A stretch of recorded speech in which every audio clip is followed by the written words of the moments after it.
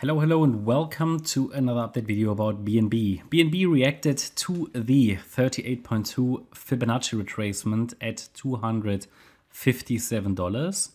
With that, it um, reacted to the typically perfect target for a fourth wave, which is often called the 38.2 retracement level. Got rejected and came down quite strongly. However, it's coming down only in three waves so far so it's a little bit in no man's land. It moved up in three waves, moved down in three waves. I cannot rule out, because of that, I cannot rule out that the triangle is happening here of some sort.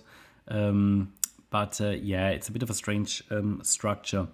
At the moment, the idea is that as long as we only have three waves up, that we can um, get another low. If it makes another low, it wouldn't really be good for the long-term outlook here. Um, support in case we make one more low is the $208 level. I mean, it came down to touch 230. You know that 230 was one of our support levels. It's the 78.6 retracement. Um, but if it makes another low, it should hit $208. Below 208, we are really at risk of invalidating the larger bullish scenario because it will then most likely test and break below the June 22 low around $184. But as long as it's holding 230, it we, we still have good chances to rally in a third wave in the bullish scenario. One more low, I would still give it a chance if it recovers quickly, but below 208, I think we are looking at the bearish scenario that we also discussed in previous videos here in the red wave count, which could send it lower to the $140 region. But at the moment, it's all about, okay, you know, can we turn around here? So far, it's not doing that. In fact, it, um, it broke out to the downside of this uh, ascending wedge. That's what you normally expect. An ascending wedge typically breaks to the downside, which it did.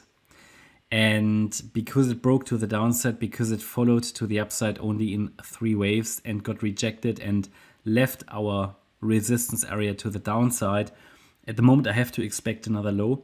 However, I cannot rule out that it's doing some kind of a weird diagonal here, but it is any it is something that's not reliable.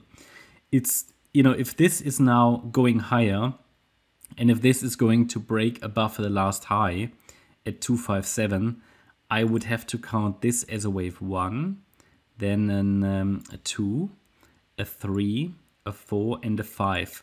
Yeah, very strange count to form as to form a wave one here, and then this would be an ABC pullback in a wave two. Um, this is of course a possible setup for the long side because this move up could be a wave one, this move down now a wave two, and then take off higher.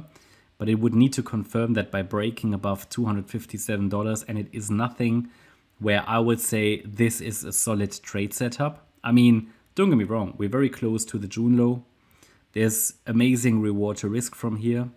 Um, and we have a possible leading diagonal to the upside, but it's a completely unreliable one, not one that I would emphasize here, because it can be just a clear three-wave structure. It's nothing that would give me clarity. So I'd rather not give you any kind of support area here. I just mention it. Of course, this, you know, if it's turning around to the upside, it should do it from here.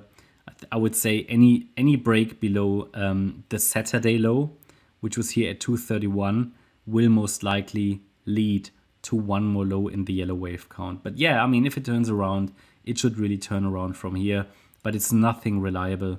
This is a very, very forced leading diagonal count. I just want to emphasize the possibility, but it's not probable to me. It's at least not clear. So I expect another low, but I do expect the count to change and to morph because it's a three wave move up, a three wave move down. We need to be on, a, on our toes here. Um, on the lower time frame, this is really rather unclear at the moment and it's a bit of a wait and see. Now looking at the bigger picture, I think we have a bit more clarity because we still have a wave one to the upside and wave two to the downside. However, a sustained break below the um, 12th of June low will also put bearishness onto this chart. Yeah, will will make this chart rather bearish or at least uncertain um, because this is really just now fighting with a possible turnaround. But I have no clear reversal signal to the upside yet. But yeah, be aware, you know, if it's turning around, that it should do it from here. Um, it's just not a clear setup. You know, it's obviously it rallied. It's now pulling back, you know, and it's coming down quite deep. And if we measure the Fibonacci retracements, just to give you an idea where we're sitting, this has come back to the golden ratio now and even briefly below it. So again, if it's turning around, it should turn around here. Um, otherwise, it will most likely take it to $208. Yeah, unfortunately, the altcoins are suffering a bit, not very clear. I think um, Bitcoin, Ethereum give the clearest, the clearest um, pictures at the moment. And this one even broke to the downside of an ascending wedge. So there's nothing bullish I can see here at the moment in the short term, but it still has a chance to rally in a third wave, looking at the bigger picture here at the moment. But it needs to confirm a turnaround on the micro level, and I cannot confirm it at this stage, but I'm of course observing it. Okay, that's my update about BNB. I hope you will like the update. If you did, please hit the like button, leave a comment and subscribe. And if you really like the content, then please check out the channel membership. Thanks a lot for watching. Bye bye.